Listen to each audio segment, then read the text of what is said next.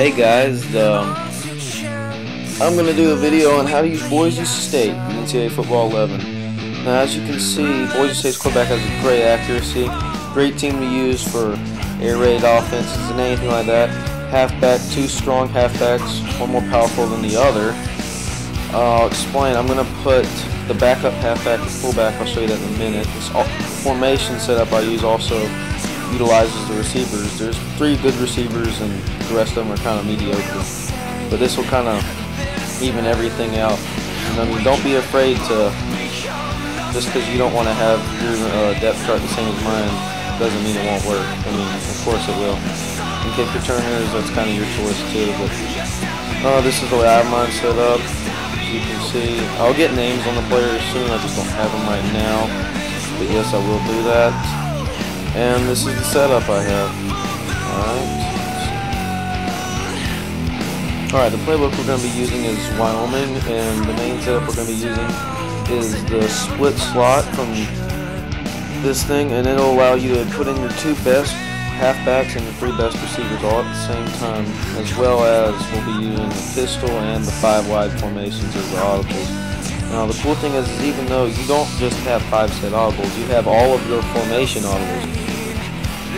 Alright, now we're come out here, first possession of the game, and let's see what we can do here. I audible out into the pistol formation. Now as you can see here, I'm going to halfback dive, move the tight end back up the middle. This allows me to get running room and an extra blocker, and I pick up an easy first down. Pretty simple, alright. I'm going to skip it, I'm going to be fast forwarding pretty much. Just a lot of this video to speed everything up.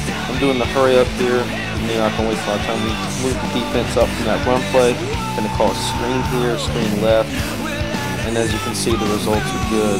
Juke out this guy, move on, get past the next, on and on, get this guy too, and I'm just going to walk into the end zone here, alright guys? First touchdown of the game, and I guarantee you it won't be the last.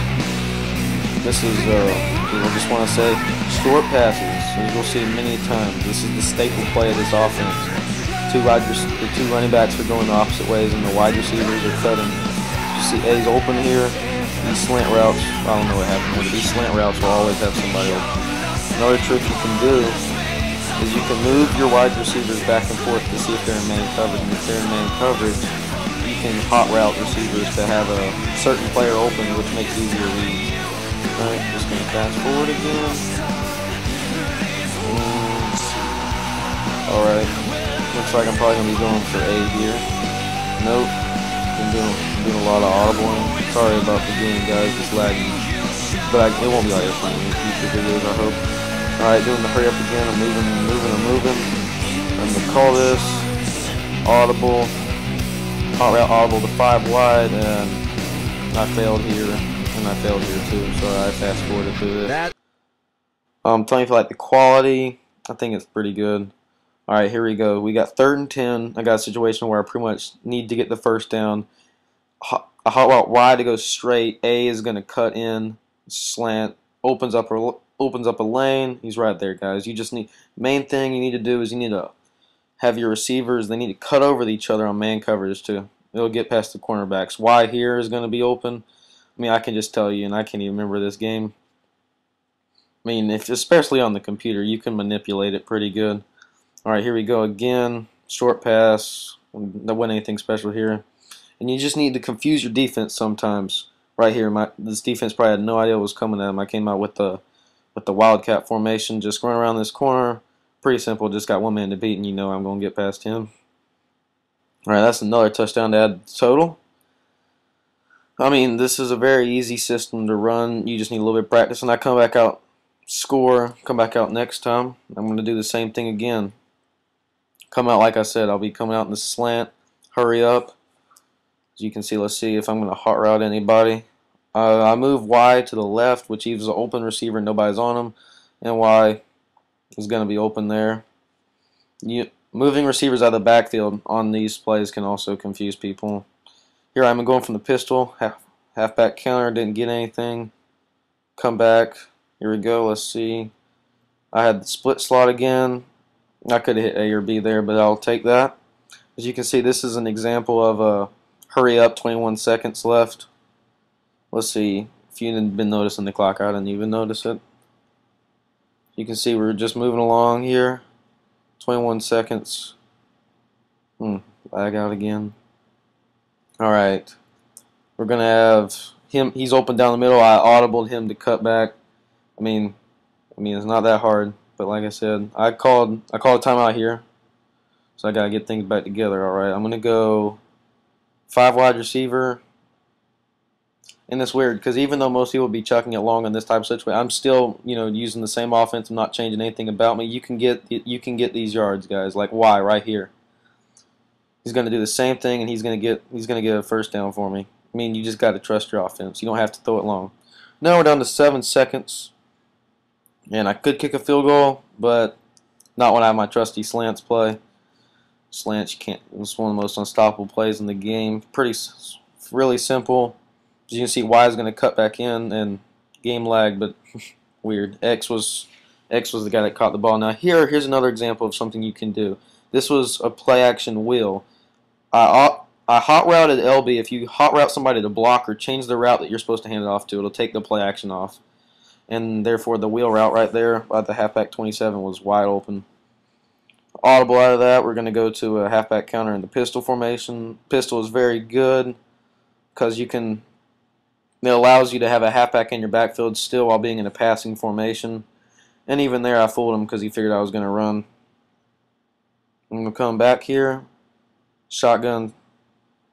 One of the few times you'll see me in a non-five wide or split slot formation, I get another first down. And we get uh, incomplete third and six. All right, we got another third and moderately long here, but that's no problem for our slants. Slants. It's the bomb. A cuts across the middle. First down. I scored later that drive, but I didn't want to show all that. But we're going to audible out of here into split slot. See what we're going to run. Looks like curls. Yeah, curls. Curls routes are good things to use too, but I don't think, I think I had B going on the slant right. Come on, um, you can see just almost everything I'm throwing is slants. If you know how to hot route, guys, you can be just as good as this. I mean, I'll, I mean, I'll let you see my stats later, and they're, I mean, they're pretty ridiculous. All right, we got Y. I think he's going to cut left. Yep, open again. And you see the way I designed my blockers is that number four cut back in, and he ended up blocking. And right now we're towards the end of the third quarter. Games nearing the end. Pretty much got this one wrapped up.